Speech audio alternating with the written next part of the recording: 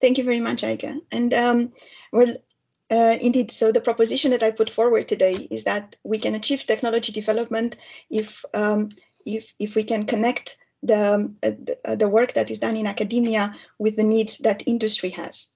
Um, and um, um well, uh, TNO is is placed at, at the middle of, uh, of, of these two worlds. Okay. Uh, but today, uh, what I what I like to to concentrate on it's it's not so much uh, the the work overall of TNO as TNO uh, looks at at uh, a broad range of subjects.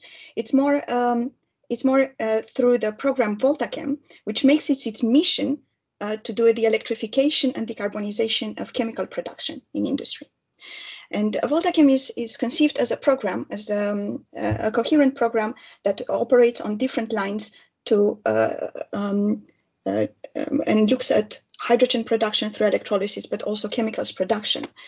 Um, we have a big dream, and this is our vision for the chemical industry. So in the future, we would use renewable uh, feedstock and renewable electricity to to create chemical products and fuels in such a way that it's cost effective and then it can uh, maintain our, our way of life. Um, and in, in, such a such a big dream and such a complex picture, um, you can uh, you can imagine that it is um, um, it, it is a difficult place to to start and introduce new technologies, uh, and that's because we are we are facing at the same time several challenges. I take here an example. Um, uh, for instance, let, let us look at CO2 and the CO2 value chain, right? So we have multiple challenges here. So we can ask ourselves, okay, how do we how do we uh, uh, use intermittent electricity sources? Um, uh, how do we uh, how do we reduce the CO2 that is currently put in the atmosphere?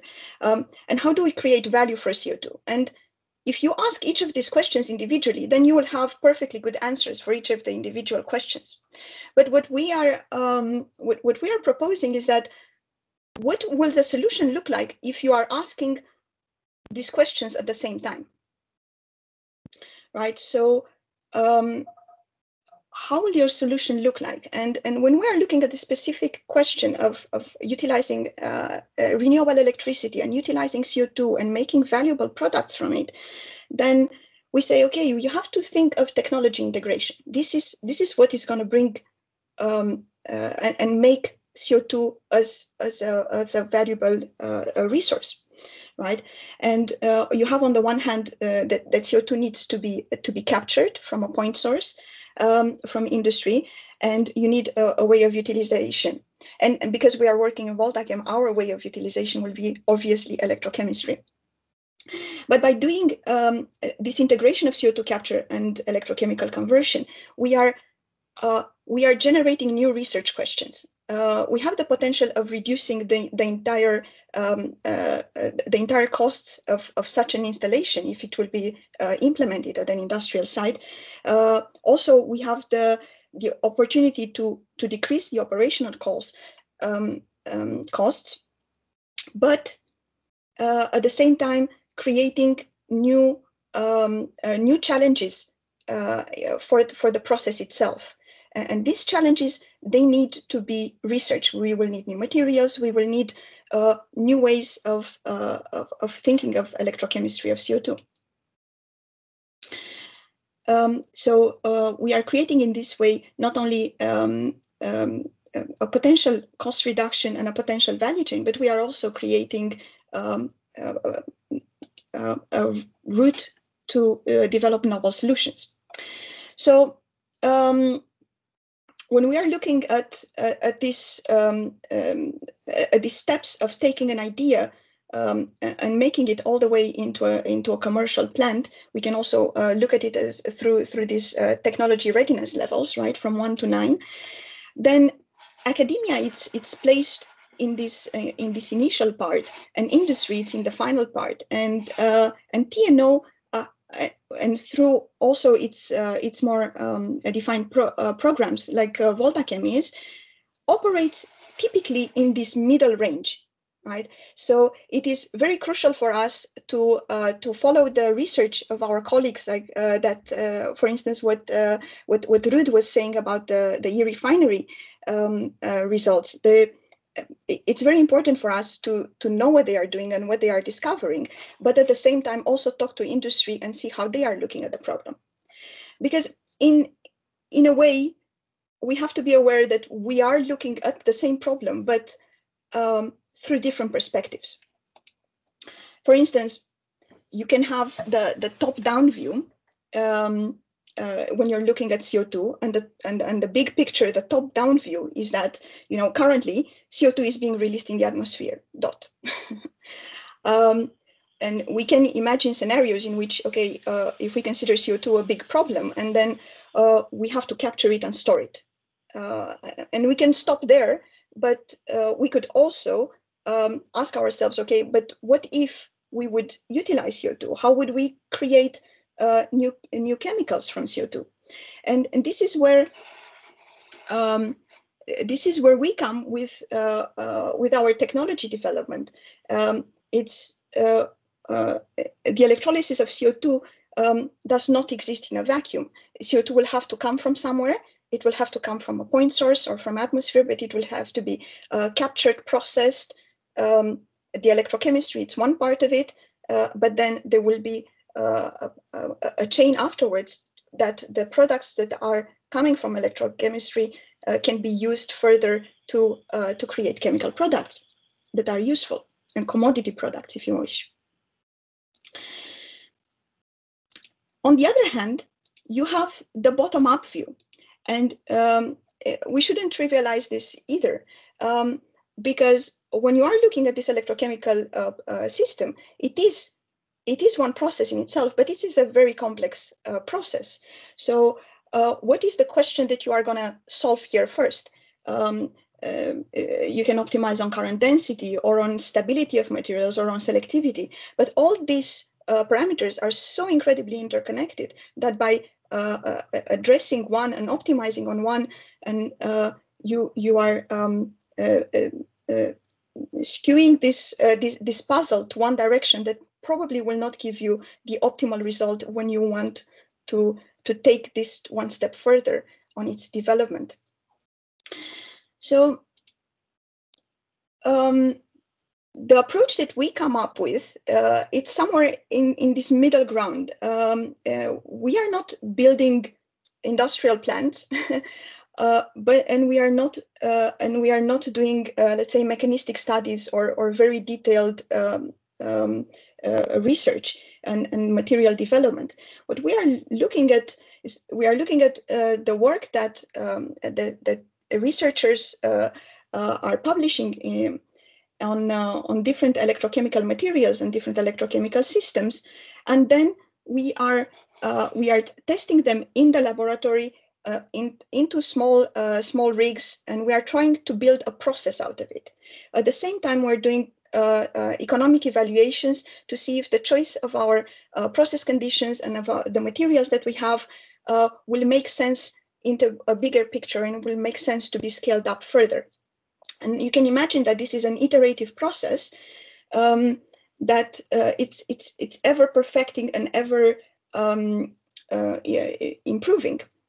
Um, um, I, I, want to give you now an example on this um, on this particular uh, integration of capture and conversion. So, um, uh, and and this is to illustrate um, how uh, incredibly um, um, frustrating it can be to work uh, to work on on such a uh, on such a route, and and probably uh, we would have uh, we would have had quite quite a few publications in this journal of uh, trial and error um, if we, if we knew about it. Um, because when we have defined this concept of integrating CO2 capture and, and electrolysis uh, it was a few years back. And then uh, for the longest time we had uh, we have mostly um, negative results or we weren't able to produce anything with CO2 but then we carried on um, and then eventually by uh, by having um, uh, the right combination of, of, of, process conditions and and capture solvents um, and uh, and the right materials, we were able to make some steps and then to uh, um, uh, to increase the selectivity towards the product that we were targeting. In this case, it was formic acid, uh, the product that, that, we target. And um, um, if you if you are curious about about these results, um, uh, you can um, you can also look at the uh, paper that my colleague uh, uh have published recently.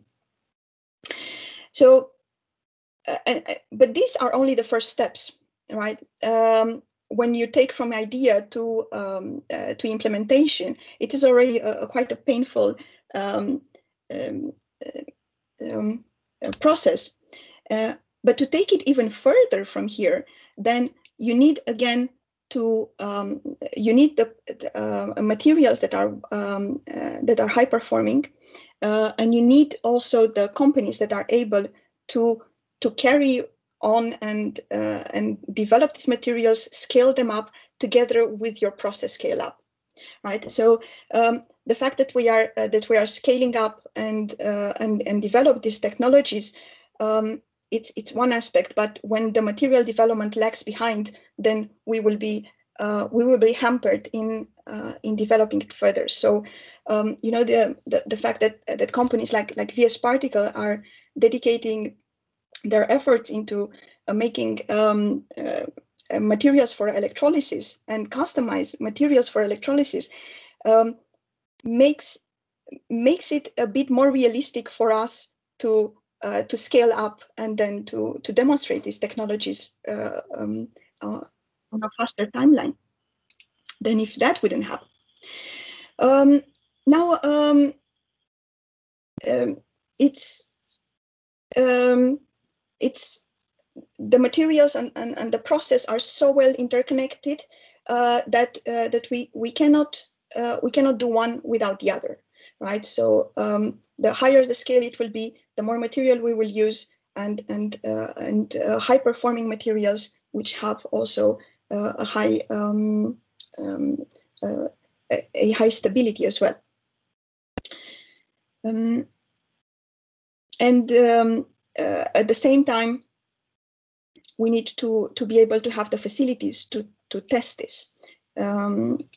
And uh, uh, part of our work at, uh, at VoltaChem and at TNO is to develop different types of, of test rigs in which we can do these electrolysis reactions at different uh, at different scales, but also under different conditions, at higher pressures or at higher temperatures, um, and uh, to to be able to uh, replicate as much as possible conditions that are found into um, into real operating plants. Um, and uh, and we do this together in, with projects with uh, with our partners, uh, both uh, from industry and from academia, um, and um, it is an um, an, an ever growing network, um, and uh, and, and the, our the questions that we are trying to answer are are more and more uh, complex. So, I hope that. Uh, I, I, gave you an idea of um, uh, of the way that that we are working and the way that we are uh, looking at the um, this question of how do you um, how do you create uh, value and how do you take a, a technology uh, how do you take an idea and transform it into an actual technology that can be scaled up and that can be implemented? And um, and for this purpose you would need both sides, uh, the um, in-depth knowledge from academia, uh, but also asking the right questions from the industry side. Um, this is the team uh, that works uh, together uh, together with me, um, and um, uh, well, this this was the team a few years back when we were allowed to stay next to each other. Now we are all working apart. so I hope um, if you need more information from me, I, I hope to answer your questions. And um, yeah, thank you for your attention. Thanks, uh, Anca, for this nice uh, overview of the work that you are doing on uh, making this bridge. Um, so we have uh, sufficient time for questions. So I will give uh, the audience a chance to uh, think about it and come up. So again, you can raise your hand um, or you can just try to unmute uh, to ask a question to, uh, to Anca.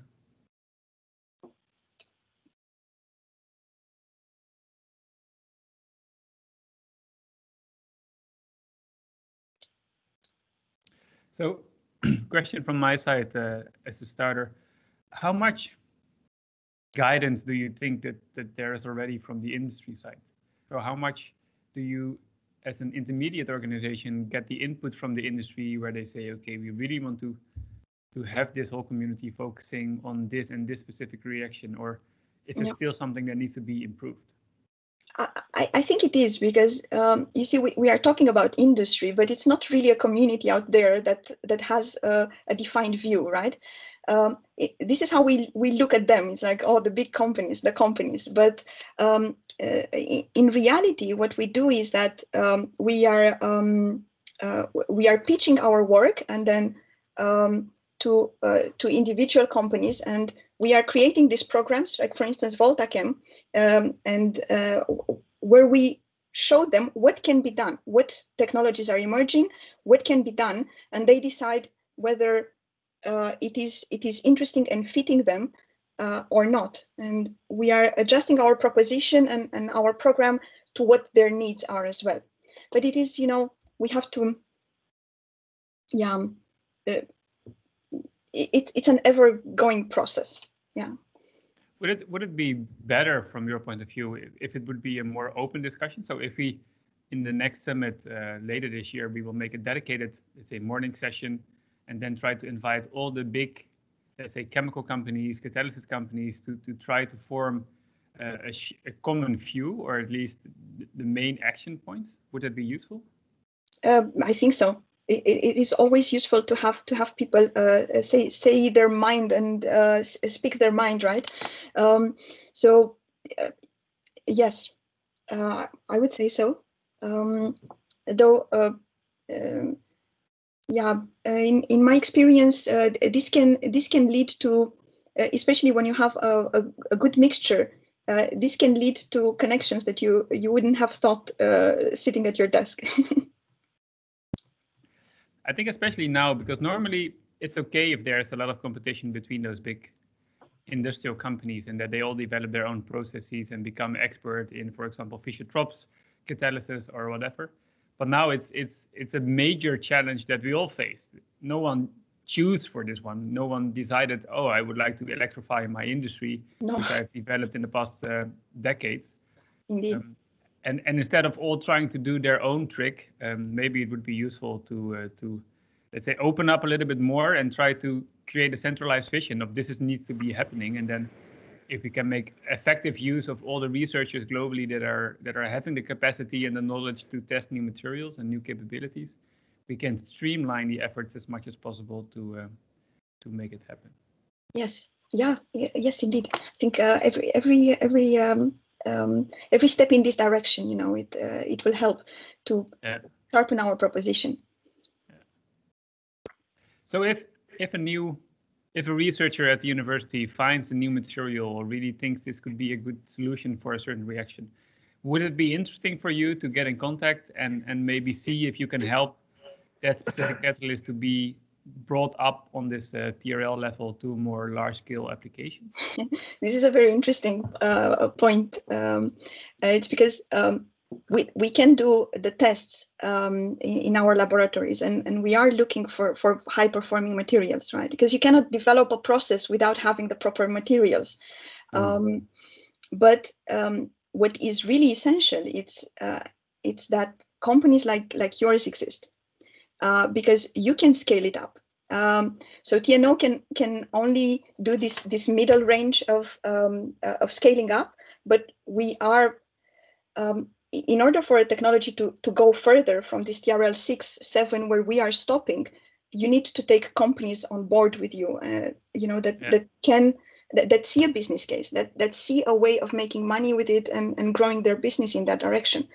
Um, so I would say I think your your question is uh, so the answer to your question is yes we can help but it should not but we are not the the end answer um, yeah. we do need companies like like yours that uh, that yeah, that's, that's. I think I think that's that's understandable, but at least um, maybe for the single researcher, even though he has made a terrific material or, or find a great um, breakthrough, it's maybe difficult to connect to all the different industrial stakeholders to to showcase the new material or to get the interest.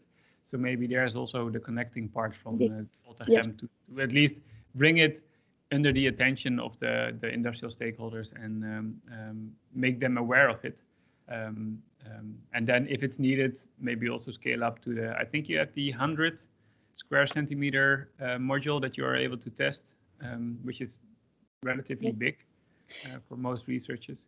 So that would be also uh, useful. Indeed. So we have uh, we are doing these tests in um, in, in uh, um, larger electrolyzers. Let's say that you would see in in, in your typical uh, uh, laboratory at uh, the university, Yeah. um, and and we are uh, building even higher, um, um, uh, even larger um, um, installations. That is because uh, the the problems to tackle are are changing at different scales, right? So and Yeah. uh, uh, by uh, by doing our experiments at larger and larger scales, then we find new problems to solve and new challenges. Um, and yeah, you know, uh, not only for the process itself, but also for for the materials, their their stability. Um, um, yes. Um, so yes, uh, so my message to the uh, to the researchers that are here in the group, uh, if if we are not working together um, uh, through different uh, pr- projects or programs already, then um, uh, please feel free to to contact us if you think that um, that that we can work together. So questions from the audience? Again, feel free to unmute yourself and uh, give a short introduction about yourself and ask the question.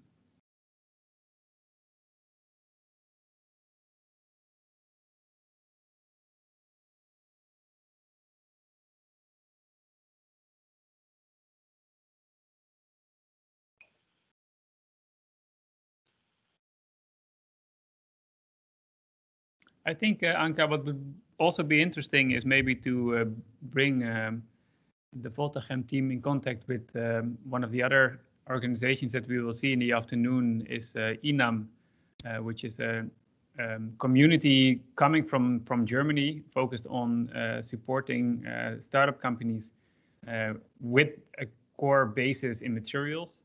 Um, so we, VS Particle, have also participated in some of their programs. Um, and I think I think fostering an ecosystem of more young, um, um, I would say, motivated uh, entrepreneurs that want to bring new electrocatalysts to the market is a very important topic. Um, so maybe there's also a, a good connection between uh, VoltaChem and, and that organization. Yes, indeed. So one last time, any question from the audience? Otherwise, we will um, go into the wrap up of the morning session.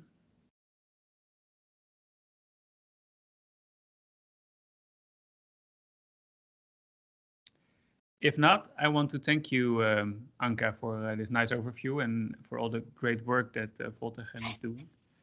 Um, to wrap up the morning session, I will um, go back to the slides that I uh, presented this morning, just to make sure that I think that everybody was in tomorrow this morning. Um,